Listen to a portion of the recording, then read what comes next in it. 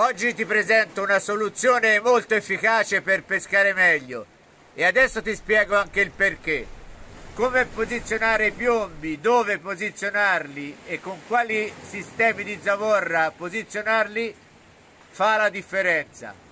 Adesso ti spiego nel dettaglio questo nuovo sistema di zavorra che io ritengo particolarmente efficace. È indiscutibile che per effettuare bene le tecniche di pesca, specialmente nel basso fondale, occorre un perfetto equilibrio della zavorra.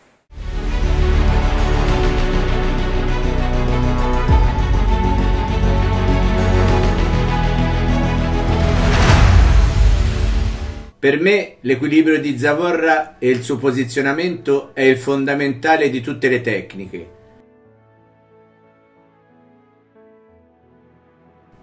Mi piace molto che durante l'utilizzo anche con tanti chili di zavorra non si muove in nessuna direzione, sia nella capovolta che in tutti i tipi di azioni.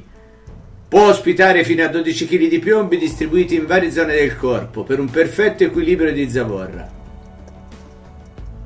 Infatti, se non si riesce ad appostarsi sul fondale in modo efficace e silenzioso, la maggior parte delle prede non si faranno nemmeno vedere quando l'azione è controllata e fluida, se c'è un pesce si avvicina subito invece di fuggire.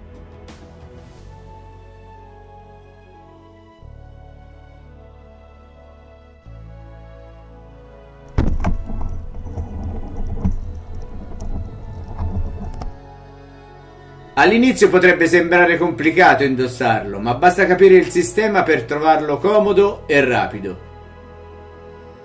Questo che vediamo è il primo metodo per indossarlo, andando ad agganciare le tre cinture.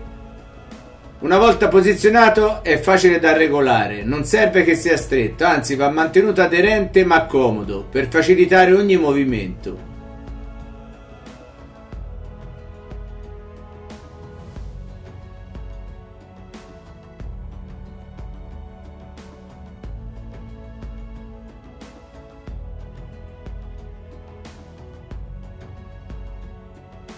Questo invece è il secondo metodo per indossarlo, con le due cinture sulle spalle già regolate.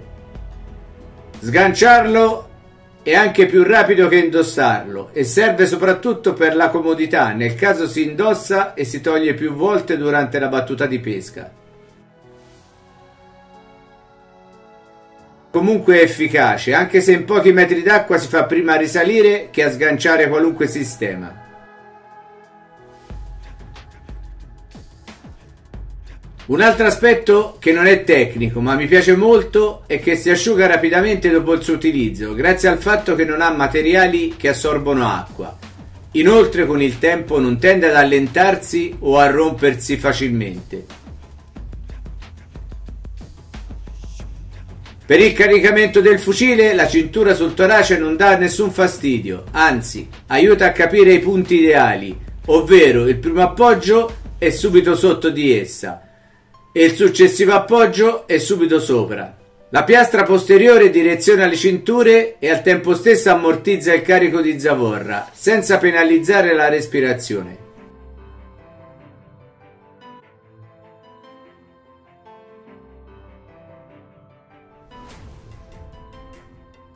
È certamente un prodotto tecnico che va utilizzato in abbinamento alla tradizionale cintura di zavorra.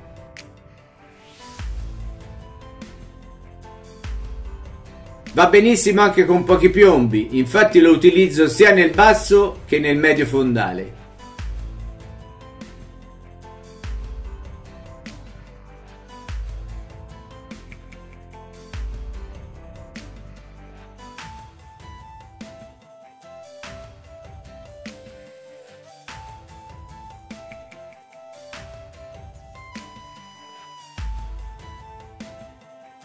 Ciò che mi piace di più è la possibilità di variare rapidamente la zavorra, ovvero aggiungere o togliere i piombi con estrema facilità, anche in acqua e senza togliere lo schienale, cosa davvero difficile negli altri sistemi.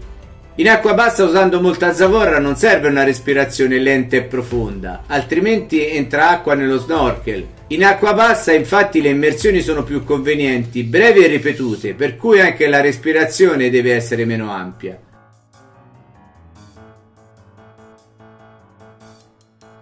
A parità di tempo più immersioni brevi equivalgono a più azioni di pesca, per cui a più possibilità di cattura.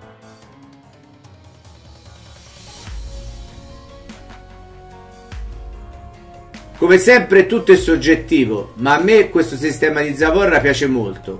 Infatti potete vedere che lo indosso in quasi tutti i miei video.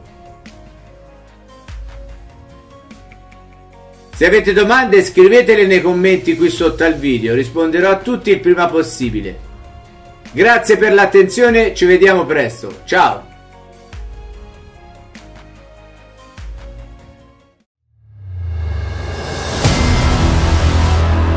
Per saperne di più, segui Marco Bardi sui social network.